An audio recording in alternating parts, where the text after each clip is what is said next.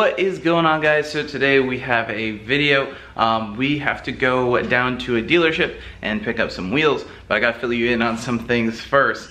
So, um, I do have some clips from when John and Don randomly drove down from Ohio to come hang out. Uh, John drove the SVT Focus and Don drove his GT500, which Don had the Black Roush that I did a review on the channel that did pretty well. Um, and then he had a GT350 Lightning Blue, then he had a 350R. While still having the Roush, he sold the Roush, and then he had a 350R. He traded that in for a 14 GT500, and then he drove that down here and then he just traded it in for another GT350. So I, I don't I don't understand Don sometimes, but he is going to be boosting this new GT350 that he just picked up. Um, but uh, here are some clips from when they came down. We had some fun, took John out in the Bullet, and let's insert those here. We'll do uh, some pulls here in the old Bullet, man. Yep, and good old Mexico. Give us all the power. Yep.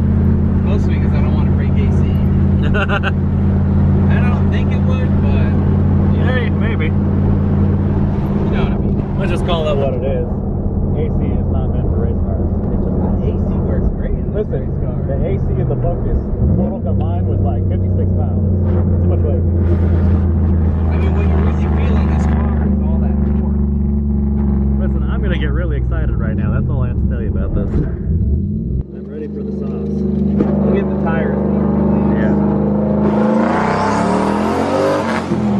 Yeah. There we go. That sounds about right.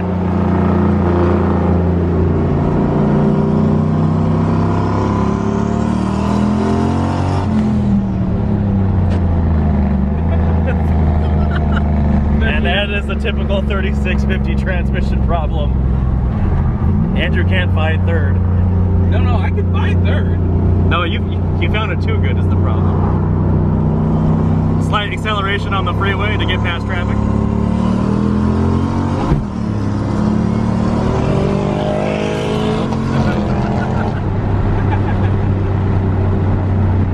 That was a no lifter third. I was gonna say we were slightly underpowered.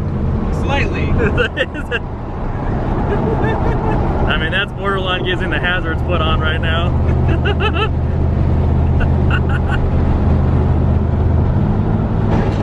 oh.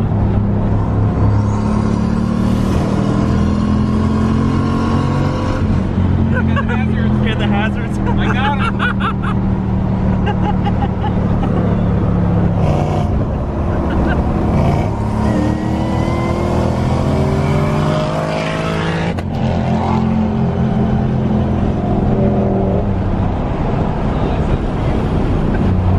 Sounds beautiful. As a- and, and he- Andrew just watched his dream go by.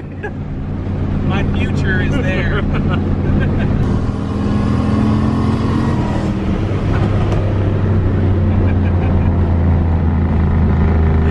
He's like, gotta get out of the way.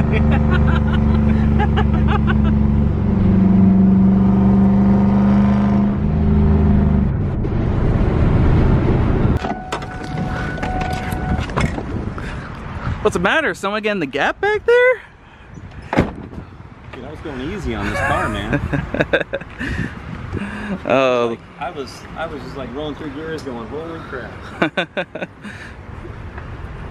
little turbo Bullet. No, it looks real good, Andrew. It's, it's a fun car, man. Good. Whips around. The tires look good. The wheels look good. The stance looks good. Well, these are the uh, the street street radials. Nice. They do the job though, right? Hooking all day long Yeah, for that car, anyways. we really didn't spin. No. I mean, the, it's warm enough outside because I did that first gear to make sure yeah, right. it was all hooked up. Hey, don't drive slow in that thing. Oh God, dude, bitch, send it, man. Just pick the place, and I'm gonna whip up a can of kick ass. Oh man. I'm gonna put the bullet in my tailpipe. See Mexico video coming soon. So now uh, we have to go down to the dealership because Don traded in the car with his Ford Forgestar wheels and he did not want to give them those and the dealership really wants matching wheels anyways. So Don shipped down the stock GT500 wheels. We're gonna go down to the dealership. Don told me if I go down to the dealership that I can actually have the rear Ford Forgestar wheels and I'm super excited because these wheels are awesome. So we're gonna go head over to FedEx and then to Mullinax and we're gonna pick up the wheels. So I know, I can't believe he uh, he has gone from a 350, 350R to a 14 GT500 and then back to a 350. But S550, really great platform. So anyways, let's go hop in the truck and head down there. All right, we are back at Mullinax to pick up the wheels. The right. All right, there's Don's old GT500 gonna go to the shop and get the wheels off the car and swap the stock 1314 GT500 wheels on. There's my new babies. I'm gonna put them on the bullet. I think I might just need a spacer. They're gonna look uh, sick on the bullet. Yeah, you need a spacer. Mine are S197 wheels actually. I got a inch spacer, we're good to go. Back to stock.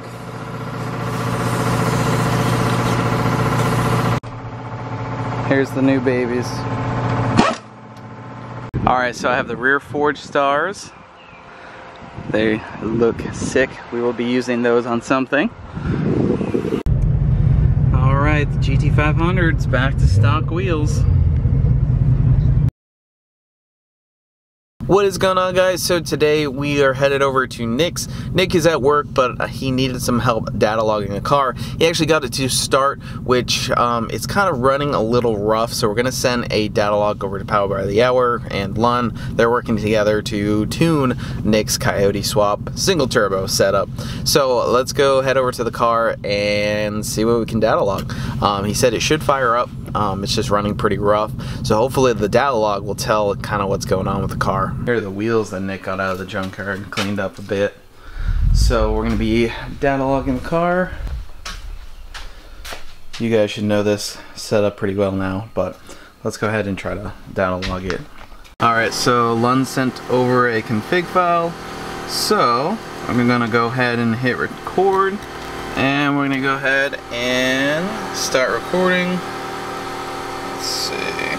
Just hit OK. Alright, let's start it up.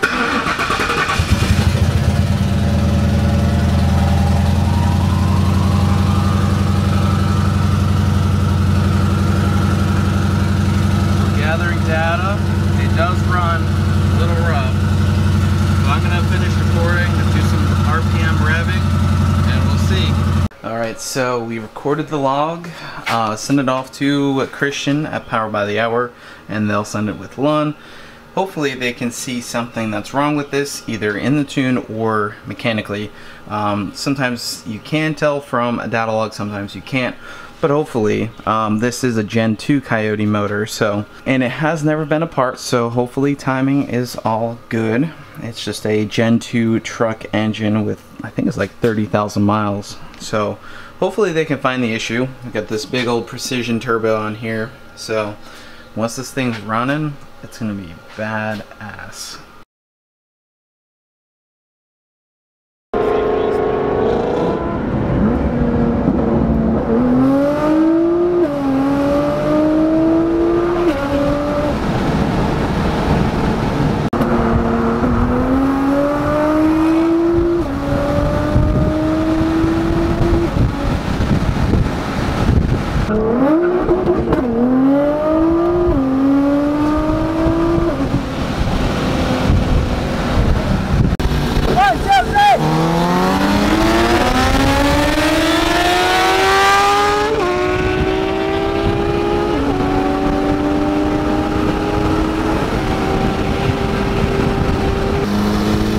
Watch!